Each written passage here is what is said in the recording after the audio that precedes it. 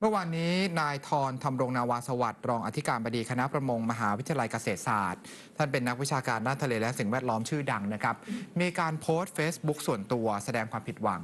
กรณีการเสนอให้สัตว์ทะเล 4 ชนิดประกอบไปด้วยวานบูด้า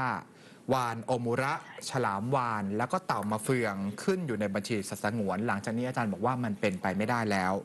โดยอาจารย์ทรระบุนะครับว่าหลังจากได้รับทราบข้อมูลจากนายศัสินเฉลิมลาบ ถึงผลที่คณะกรรมการสงวนและคุ้มครองสัตว์ป่า เมื่อวันที่ 4 ตุลาคมพิจารณา บอกว่าข้อเสนอที่จะให้ขึ้นบัญชีสัตว์ทั้ง 4 ชนิด เป็นสัตว์สงวนนั้น ไม่ผ่านการพิจารณาของคณะกรรมการกฤษฎีกา เพราะว่ามีการแย้งเข้ามาจากกรมประมง บอกว่าในกฎหมายการให้เป็นสัตว์ป่าสงวนนั้น ไม่ได้มีช่องทางให้ผู้ครอบครองก่อนประกาศแจ้งครอบครอง ให้ไม่มีความผิดได้ จึงถือเป็นการลิดรอนสิทธิผู้ครอบครองสัตว์ทั้ง 4 ชนิด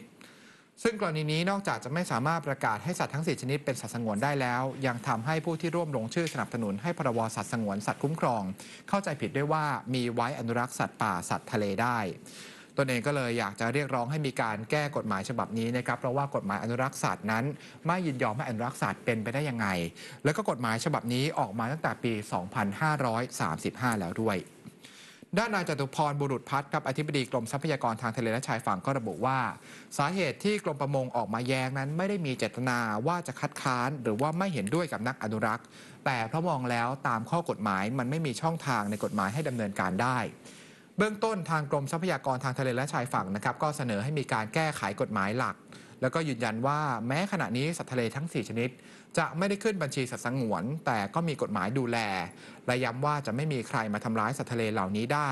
ถ้าหากว่าพื้นที่ใดวิกฤตก็สามารถประกาศให้เป็นพื้นที่คุ้มครองได้ด้วยครับค่ะ